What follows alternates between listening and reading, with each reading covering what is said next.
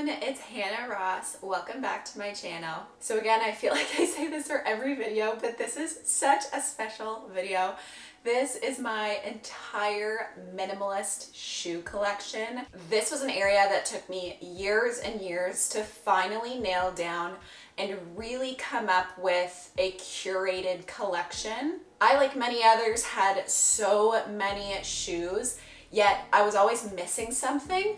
I never had the right shoe for the occasion, and it was only when I found minimalism and started to curate my life and whittle things down that I actually figured out how many shoes I actually needed and what occasions I would be wearing them for. So this is the long-awaited shoe collection video. I thought no better place to film than my entryway at home. So we are here, this is actually where I put on my shoes on this little bench, so I thought that was a sweet little touch. So we are here in the entryway and I am going to talk about all 12 Yes, 12 pairs of shoes that I own. But before I explain every single shoe and show you what they look like on, I am just going to dive a little bit into why I own these shoes, what the categories are. You know the drill if you've been around for any of my wardrobe videos. So shoes are a little bit different, but I still have three categories. And the categories are dressed up, every day and dress down, although the dress down category in this situation is pretty much just workout. I have actually six pairs of shoes in my dressed up category. I only have four in my everyday category and just two in my workout category. So that brings us to a total of 12 and I cannot wait to get started with the first category and that is going to be my everyday shoes. So when it comes to my wardrobe, there's always some sort of factor that I am considering. That could be length of a garment, that could be coverage a garment provides. And in the case of my everyday shoes, what I am thinking about is seasons, so seasonal wear. So I am going to show you my summer, spring, fall, and winter everyday shoe. With regards to color, I actually like to keep some of my shoes bright, the brighter months I find, so summer and spring. And then the other two seasons, fall and winter, I like to keep dark. So without further ado, let's get into my first shoe. It's summertime, so let's kick it off with my summer sandal. All right, these are my Birkenstock Eva sandals believe it or not, they have been cleaned. Um, I just wear these to death. Like these are my number one go-to sandal all summer long to the point where I have a Birkenstock tan now, which you will definitely see in the cutaways. Um, it just comes with having a minimalist shoe collection. If I only have one summer shoe, I'm gonna have a Birkenstock tan, so it is what it is. Anywho's in, back to the shoes themselves. I absolutely adore these. These are the best shoes on planet Earth to me. Um, they're comfortable, they can get wet, which is huge in the summertime. They don't get super hot because they're white. They are adjustable. I even broke my toe a few years back and it was so great. These were the only shoes that I could wear because I could adjust this top piece here. They also do provide some level of support seeing that they're Birkenstocks and they are extremely, extremely comfortable. I can wear these for a five kilometer walk, no problem whatsoever. I'm not getting blisters. They are just so good. It's to the point now where I feel like I actually need a new pair because I have worn the soles out of them essentially. Like they don't have that much tread on them anymore and they're getting a little bit slippy. But I'm stubborn when it comes to replacing things and if they're still working enough it's really really hard for me to go out and buy a new pair.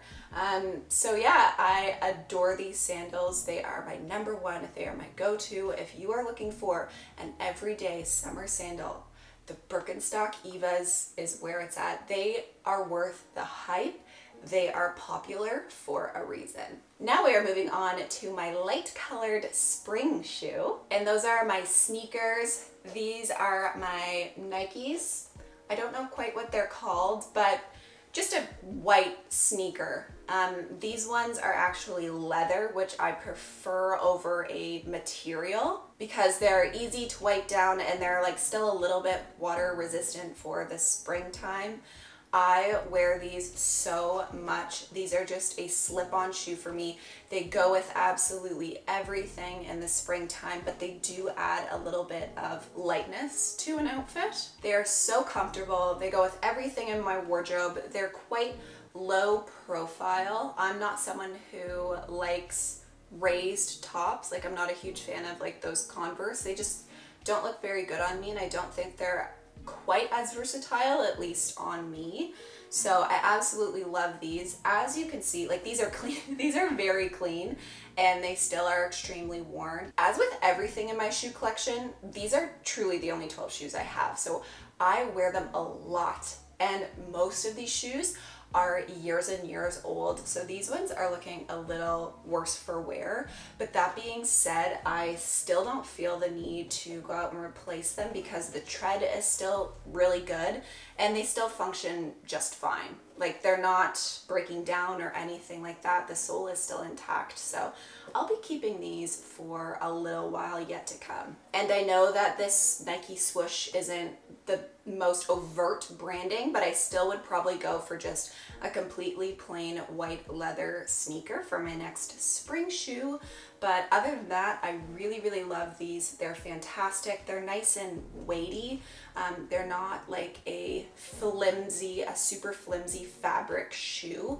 They have a decent amount of support and I feel like I can get away with them in a lot of situations. So these are my spring shoes. So next up are my fall booties. I love them oh so much. These are them. They're just a really classic Chelsea booty. These ones are actually from Little Burgundy.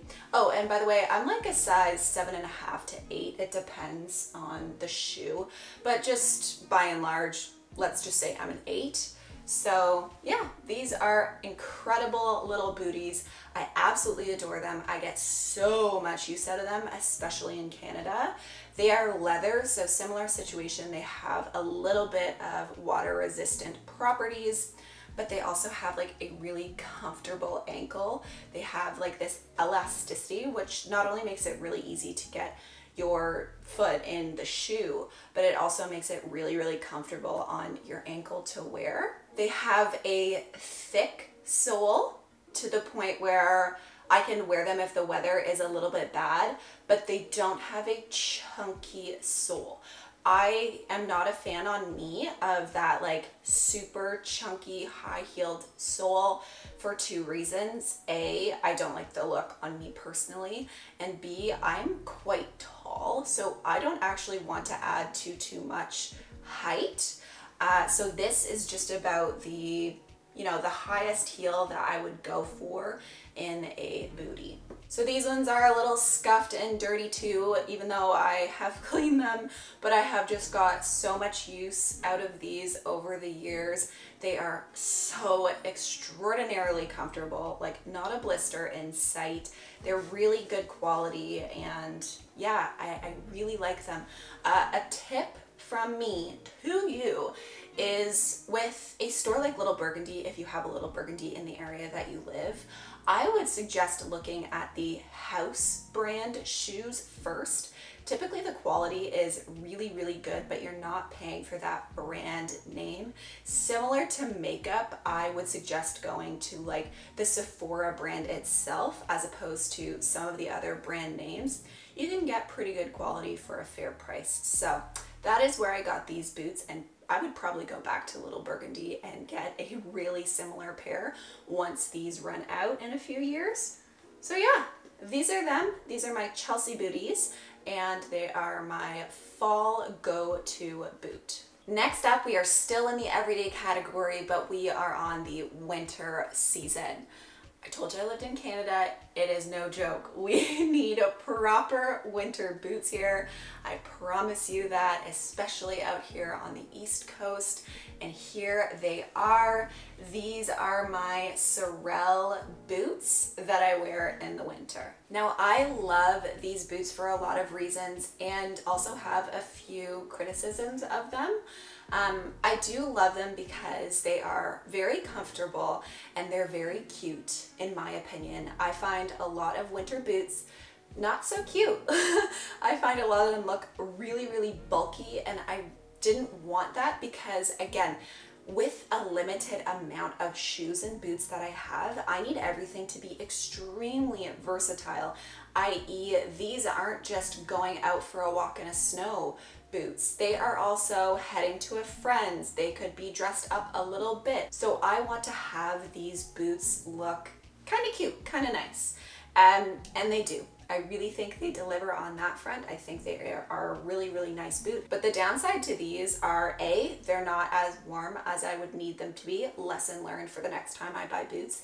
And B, they're kind of oddly difficult to get on and off. I think because the boot part is so fitted and not as bulky, it's actually really hard to get your foot out of these. So I struggle a little bit putting these on and off and I do kind of find them to be a pain, but overall, other than those two small things, they are a fantastic boot. I really like them and I get so much use out of them in the winter. And quite frankly, like I mentioned, they are just a necessity but they do go with a lot of my clothes. I made sure to have um, winter boots that lace up. That's very common anyways, but I made sure to have them lace up just in case I need to tuck in, you know, a looser pant um, that I'm wearing, I can still absolutely do that. I also wanted them to be cute enough and tight enough on the calf that if I was wearing looser pant, didn't want to tuck it in, I could put them over and almost act like a bootie, more similar to my fall boot, but in, you know, worse weather. So these ones also have a little bit of a heel, but not too much. The tread is pretty good. I don't slip too, too much in these. Sorel does a good job for that. Just a very necessary boot for those cold, cold winter months in Canada. All right, my friends, so that is my first category done. Those were my four everyday shoes for four seasons. Now we are moving on to the next category that I want to talk about, and that is my dressed down or workout category. These I would classify primarily as workout. And I have a completely different system for them. They have nothing to do with seasons whatsoever.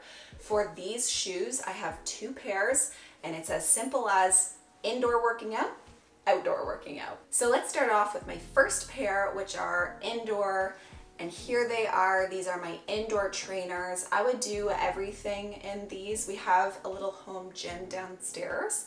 So I would go for a row or I would do a workout program. And if I'm completely honest, my intention was to wear these solely inside, but I actually have worn them outside because they're cute. Like I actually think that they're a really nice looking shoe. So I found myself pairing them with more workout style athleisure outfits outside, which I really should do, but I have. Sue me. So these are extremely versatile. I absolutely love these shoes. They are so comfortable. I know a lot of people have a lot of problems with Nike and morally I get it, okay? I really, really do. But when it comes to like sports shoes, Nike is truly the only comfortable brand that doesn't hurt my feet. So I have stuck with them until I find a new brand that is equally as comfortable. I probably will be sticking with Nike just because of how good they have been to my feet over the years. Even back in the day in my competitive athlete phase, I was always wearing Nike shoes. They just do the best things for my feet in particular. It's just me. So anyways, long story short, these are my indoor trainers. I absolutely love them and I do sneak them outside every once in a while. Shh, don't tell. So these are them, super, super comfy, easy to slip on, easy to slip off. Love having this band to keep everything nice and secure. Here they are, my indoor light colored workout shoes. Next up, uh, just looking at these ones, they're nice and dirty. I just wore them for a hike, But anyways, these ones are my workout shoes, but for the outdoors. These are an outdoor running shoe by Nike as well. They are pretty tight on my foot, which I prefer. I feel really nice and secure. And these shoes I would wear to go for a walk, I would wear it to go for a hike, I would wear it to go for a run, anything in the outdoors. They are water resistant, they are so comfortable, they are just ugh, the perfect shoe for me. And for some reason, I can get away with just one shoe for multiple things in the outdoors. That is how I prefer it. If I was someone who, you know, did a lot of trail running, I might have a specific trail running shoe, but for me, I don't have many like specific outdoor hobbies that these couldn't address. So I just have the one pair for now and I absolutely love them. And of course they go with everything I think they even have some reflective capability too. Yeah, I think the Nike swoosh is reflective if I'm not mistaken. So these are my outdoor workout shoes that I love oh so much. Now a final caveat to the workout category, and it's not an additional pair of shoes, but it's more of a concept. If you are someone who loves cycling and you need those like snap-on biking shoes, or if you play basketball and you need basketball high top shoes, or if you do track and field and you need some specific like running shoes. That is all part of this. A minimalist shoe collection or minimalism in general isn't about cutting out those things. I just don't happen to be very involved right now in any of those particular activities, but I have had more basketball shoes than you could shake a stick at. I've had track and field shoes. I've had so many specific designated shoes for certain hobbies. And if those are part of your life and you really enjoy those hobbies, of course you're gonna have a larger shoe collection. My sport category just only has two right now. But if I were ever to get back into something like volleyball perhaps or basketball, I absolutely would add those to my workout category shoes and not worry if my shoe collection has to grow a little bit to adapt to my changing lifestyle. So now we have gone over the everyday shoes and my workout shoe category. That brings us to six shoes.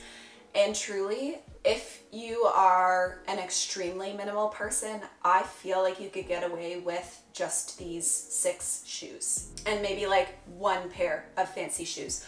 But I love dressing up and I find a really easy and simple way to elevate an outfit is through a dressy shoe. So I actually have just as many dressy shoes as I do all of my everyday and all of my workout shoes. So I have six pairs to talk about today and I wear them so much you will see, trust me. So I have a pretty basic wardrobe. I think we can establish that. I love it. I'm not offended by the word basic. I actually think that's fantastic. I see my wardrobe as a uniform. It's how I prefer to live my life. But that being said, I also am a very dressy person typically. I would prefer to be overdressed than underdressed. And having six pairs of dressy style shoes makes these outfits just a few notches and more elevated and at least I feel more comfortable going to the events that I'm going to go to. So now I'm going to talk about the factors that I think about in my dressy shoes. Every day was seasonal. Working out, indoor versus outdoor. And now I have a completely different strategy for my dressy shoes as well. So for my dressy shoe category, I am thinking a lot more about color. So I'm having the same shoe in light and dark, similar to the way that I address my wardrobe. But I'm also thinking about closed toe versus open toe, heeled versus not heeled. If I wasn't 5'10", I swear I would wear heels every day. I absolutely love them. Sorry, the sun's coming in and out here. I absolutely love the feeling of wearing heels and I do wear them very, very frequently, but the odd time I don't know, sometimes I just feel a little bit too tall in heels and I want to have an option that is flat but dressy. So the first two that I am going to talk about are the same shoe but in light and dark. I am going to show you the light version first These are my dressy sandals by Steve Madden. They, as you can see, are open-toed, but they are flat, completely flat. They are that perfect merger between feeling fancy, but not so fancy that you're wearing a heel. I actually really, really love these, and as you can see, they are like quite well worn. Again, I feel like these can go with any, just about anything in my wardrobe and I really love having a flat dressy sandal option. So these are them. These are my Steve Maddens. I think these are in a size 8. Everything's rubbed off. I've had these for years. Um, but these are like a leather, fancy kind of sandal. I adore them. They go with everything. Fantastic. So next up, it's going to be no surprise to you that I have the exact same shoe, again by Steve Madden, but in a black leather or pleather. And again, I just really like having these. They go with everything in my wardrobe. They are dressy without being too dressy. This is just my opinion, but sometimes because I am tall and I do wear a heel, I feel like it elevates an outfit a lot. And sometimes I just want a minimal amount of elevation. Maybe I'm heading to a brunch. I don't want to wear my Birkenstock sandals and I don't want to wear a full-on heel I go to these sandals. So these are my dressy, dark, open-toed, flat sandals. that was a mouthful, but those are truly all the factors that go into me picking my minimalist shoe collection. My second two pairs in my dressy shoe collection are still open-toed, but this time we've got a little bit of a heel going on. So these ones are the light colored version. Oh my goodness, have these ever gotten some use out of the years? These are quite old. Absolutely adore them. They are from Le Chateau, which I don't even know if it exists anymore in Canada, but the Le Chateau Flex version for shoes was amazing. If it's still around, I really truly hope it is. if it's still around, geez, those are some comfortable shoes. So they have a pretty short, wide heel. I need a wide heel. Like I am Bambi. I will trip and fall over absolutely everything. So I need a chunky heel. Plus I find it's just more versatile. Like I can go to an event in the grass and not be like stuck, stuck in the grass in those like teeny tiny little thin heels. So the chunky heel is for me. And these ones just have a little buckle at the top and yeah, they're open toed. They are a fantastic shoe. You also might notice that I have some silver detail here and some gold detail on those flat Steve Maddens. I really don't mind what metal I have on my shoe or what color of buttons there are, like these ones are silver.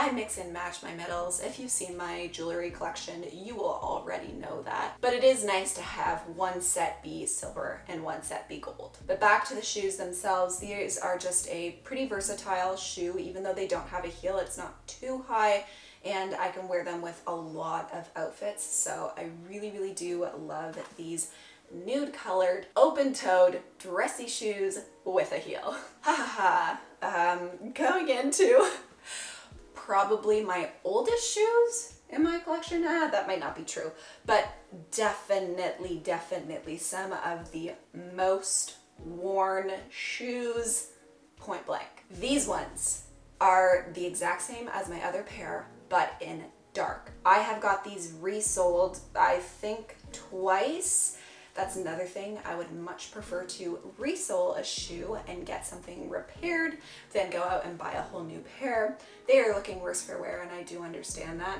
Um, but they are my beloved dressy open-toed heel shoes. I feel like this heel is the perfect height to feel definitely dressy, but I can still get through a night of dancing. And honestly, if I feel like I'm not gonna be able to get through an entire night in heels, I just bring my flat sandals, those dressy ones I just showed you by Steve Madden. But anyways, I digress. These ones have been through a lot with me. I love these shoes. They are battered and beaten. They've got some marks on them, but certainly still good enough for me. For a heel, I have just never found a shoe that is as comfortable as these guys. And again, these are the Le Chateau flex shoe line. Open toe, no heel, light and dark.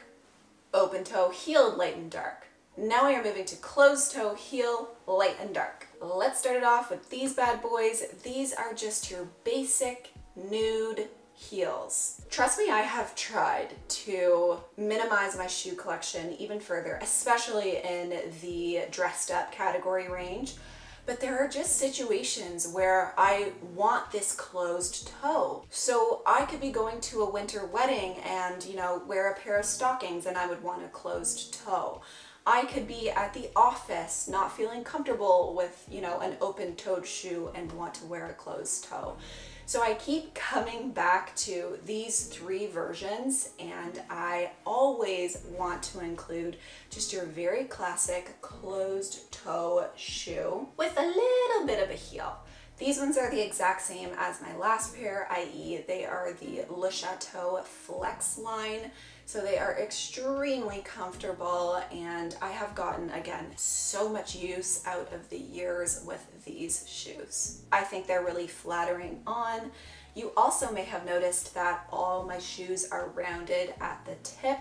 If you are an almond, you know, shape or a pointed tip person, you do you. I have a size 8 foot, which actually seven or eight, which actually isn't too big. It's not a very large foot, but I wouldn't want to further elongate my foot. And that's just how I feel. So I like this like rounded tip look on me, which is why every single one of my shoes has that. Forgot to mention that at the beginning. But yeah, these are my classic closed-toed dressed up shoes with a heel in the light color. And now moving on to my final pair of shoes to talk about in my entire collection. And if you are paying attention, you now know that these are my dressed up shoes with a heel in black and closed toe. These rival the open-toed heels for use. I wore these to death when I had an office job. I wore heels, I would say like 95% of the time in my old office job, and I loved these heels as my go-to. Also, in general, for the dressed up shoe category, I get a little bit more use out of the dark than the light.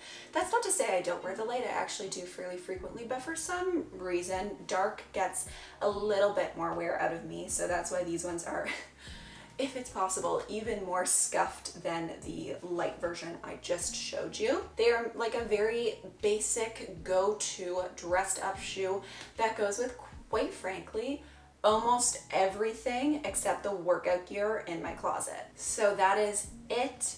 These are the final pair of shoes that I have to talk about today. And that means that I have rounded out my dressy shoes and I got away with six pairs of dressed up shoes to meet all of those needs. So as with every video on my channel. I truly hope that this made you see your shoes a little bit differently, see where you might have some gaps in your collection, see where you might have an absolute excess and you could minimize. And I have said this before, but I'm gonna say it again. If you are someone who never wears dressy shoes, then don't have a dressed up shoe category. If you are someone who does not live in a climate where you need a pair of winter boots, don't have winter boots.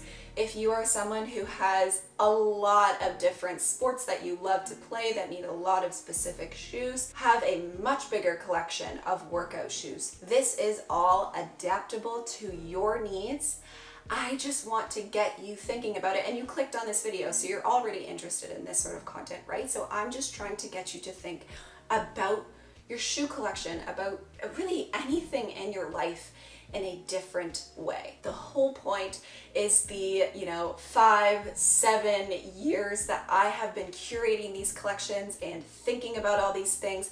I want to impart that onto my audience. That's my that's my whole purpose here is to try to get you to a place where you are happy with your shoe collection in this case, but just happy with this stuff coming into your life and or leaving your life. Because remember, we are in control of our stuff. Our stuff is not in control of us. So I really hope you enjoyed today's video and I hope you enjoyed, you know, the new little setup. It truly feels like such a special privilege to be able to be filming from home for you here in Canada. So if you like this video and you like my shoe collection, please give it a like. If you like me and you like my content in general, please consider subscribing. I am getting on the road to a thousand subscribers, which of course you know means monetization. And if I get to that point, all it's going to be able to do is allow me to make more and more content, more and more videos at a higher quality for you all. Well, my friends, thank you so, so much for spending even a small part of your day here with me on my channel. And I really hope to catch you in my next minimalism video. Bye!